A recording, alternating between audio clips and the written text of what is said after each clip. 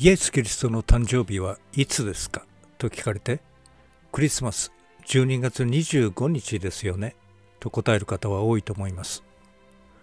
しかし、実際はそうではありません。イエス・キリストの本当の誕生日、降誕日は12月のような冬ではなく秋の時期でした。ちょうどユダヤにおいてカリーオの祭りという秋の盛大な祭りが行われている時だったのです。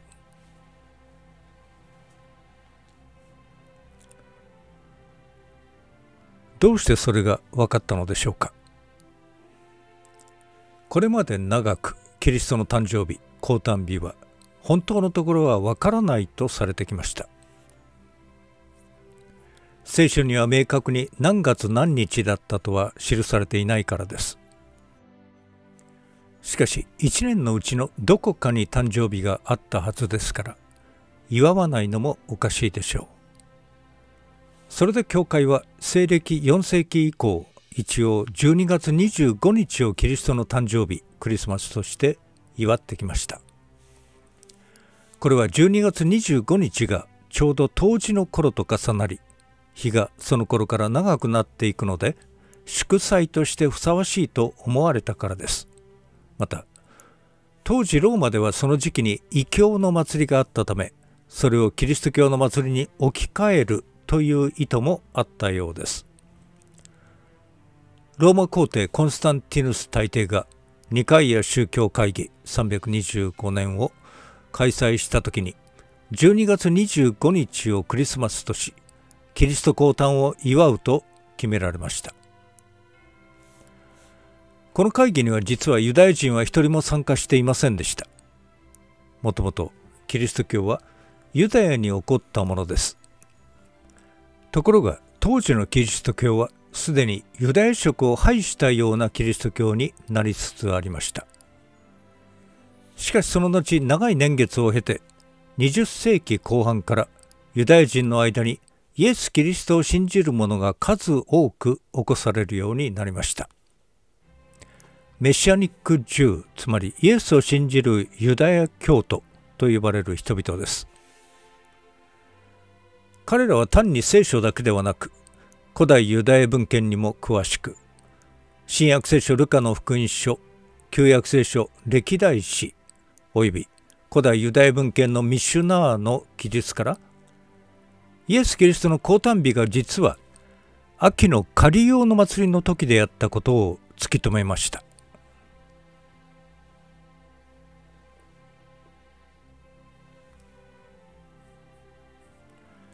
というのは聖書のルカの福音書を見ると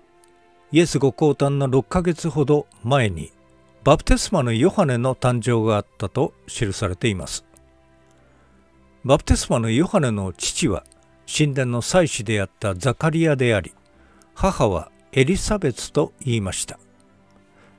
祭司ザカリアはアビアの組に属していました。アビアの組のものでザカリアという祭司がいたと書かれています。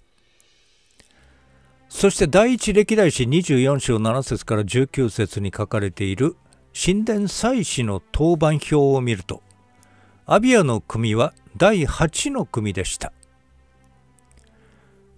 古代エルサレムの神殿では1年を24の組に分けて担当することになっていました。半月ごとに担当の祭司グループが変わったのです。ユダヤ歴の第1月の前半は第1の組、第1月後半は第2の組、また第2の月の前半は第3の組、第2月の後半は第4の組がというようになっていました。したがって第8の組はユダヤ歴第4の月の後半が担当でした。またルカの福音書によると祭司ザカリアの妻エリザベスはこの祭司の勤めの期間が終わった後すなわち第5の月に入った時にヨハネを身ごもりました。またそれから5ヶ月経ち彼女が妊娠6ヶ月目に入った時につまり第10の月の1日にイエスの母マリアが身ごもりました。さらにそれからマリアの妊娠期間280日40週。を経てイエスはお生まれになりました。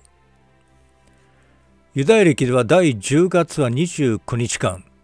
第11月は30日第12月は30日第1月は30日第2月は29日第3月は30日第4月は29日第5月は30日第6の月は29日となっています。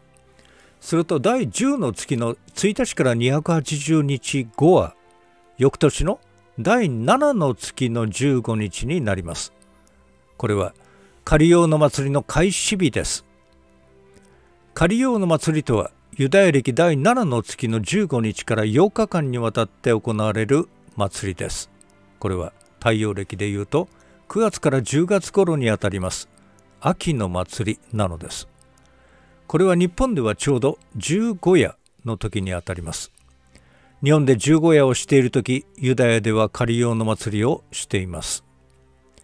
日本人が中秋の名月を眺めながら土地の収穫を感謝しつつ家族団らんの時を持つように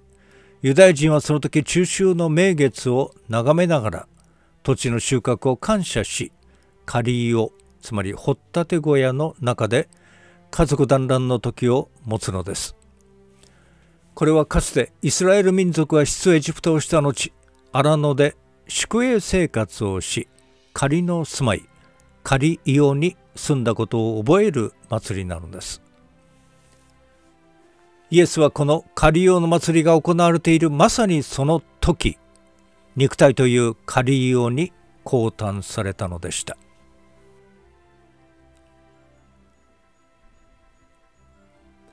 次のことからなどもイエスが秋の仮用の祭りの時に降誕されたことを示しています。ルカの福音書には羊飼いたちが野宿で予番をしていると彼らにキリスト降誕の知らせが入ったと記されています。しかし羊飼いたちは太陽暦の12月25日の頃には寒さのために野宿はしません。ユダヤの口伝立法であるミシュナーには羊飼いたちが野宿できる季節は初めの雨と呼ばれる秋に降る雨までの期間と記されています。11月以降は寒さのために野宿はしないのです。また時のローマ皇帝アウグストがユダヤ人の住民登録を命じヨセフとマリアが生まれ故郷ベツレヘムに帰っている時にイエスが生まれたと記されていますローマの支配者たちは仮行の祭りの時期を利用してユダヤ人たちを生まれ故郷に帰らせたのでしょう。仮行の祭りの休みの期間にユダヤ人が故郷に帰ることは容易だったからです。またベツレヘムはエルサレムに近くこの時多くのユダヤ人が仮用の祭りを祝うために押しかけていたに違いありません宿屋はいっぱいで入るところがなかったと記されています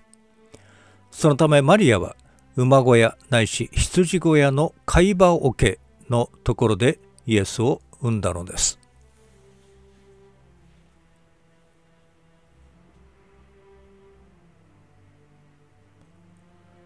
これについて聖書は言葉つまりキリストは人となって私たちの間に住まわれたと記しています。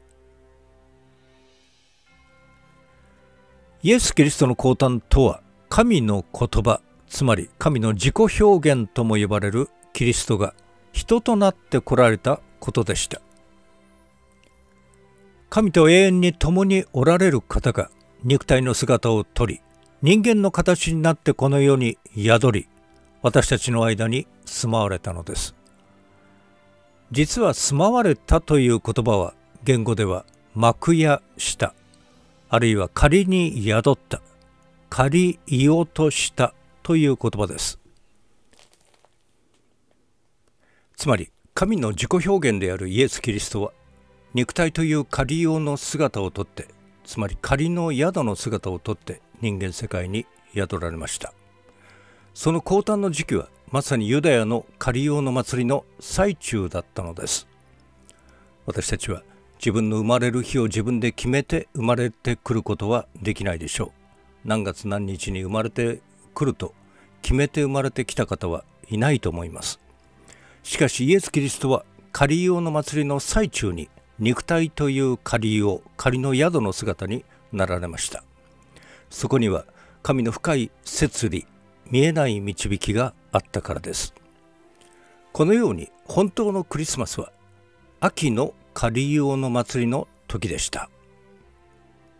では今日12月25日に祝われているクリスマスは全く意味がないのでしょうか。そうではありません。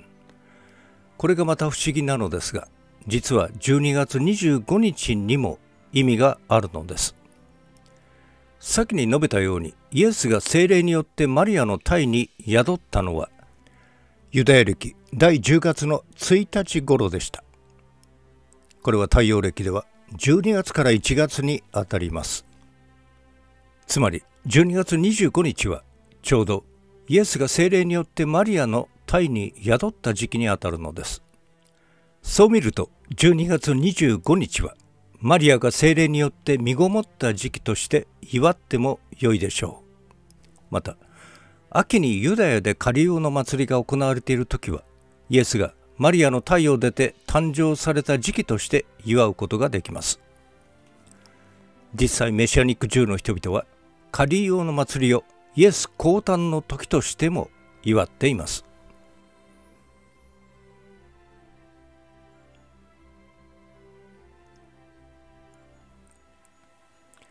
ユダヤでは秋にカリオの祭りが盛大に行われまた春には杉越の祭りという大きな祭りがあります。カリオの祭りと杉越の祭りはユダヤの二大祭です。それぞれ8日間にわたって行われます。イエスはカリオの祭りの時にマリアの体から誕生しまた杉越の祭りの時に十字架の死を遂げられました。つまり生と死はユダヤの二大祭の時だったのです。イエスは肉体という仮用に宿りまた私たちのための杉越となるために十字架の死を遂げられました。イエスの犠牲の血潮により裁きは信仰者の上を過ぎ越してゆくのです。イエスはまたその死から3日目の日曜日に復活されました。その復活は初穂の祭りの時でした。イエスは私たちの復活の初穂つまり最初の穂となるために復活されたのです。またその復活から50日目の日曜日に精霊降臨があり教会が誕生しました。その精霊降臨はペンテコステ五巡節の祭りの時でした。さらに聖書はイエスはもう一度地上に来られると約束しています。イエスの再臨はユダヤ歴第7の月の1日のラッパの祭りの時であろうとメシアニック・ジューラは解釈しています。このユダヤ歴第7の月の1日というのは今日ユダヤ人が新年として祝っている日でもあります。その日本当の新年新しい時代が始まるのです。さらに第7の月は次々と重要なことが行われる時でもあります。第7の月の10日はヨムキップル大食材日です。その日大いなる食材が行われます。いわゆるイスラエルの失われた十部族が回復しユダの家とエフライムの家が合体し一つとなって救われる大食材日となるのではないかとも言われています。また第7の月の15日にはカリーオの祭りが始まります。それはキリスト降誕の日でもありますがキリスト再臨の日には収穫の終わりを告げる喜びの祭典として祝われることでしょう。カリオの祭りはキリスト再臨後の千年王国でも祝われると聖書に予言されています。ゼカリア書にエルサレムを攻めたあらゆる国から残りの者が皆年ごとに登ってきて万軍の主なる王を礼拝しカリオの祭りを祝う地上の種族の中でエルサレムに登って万軍の主なる王を礼拝しようとしない者には雨が与えられないと書かれています。カリオの祭りは単に過去のものではなく来るべきキリストの千年王国においても祝われるのです。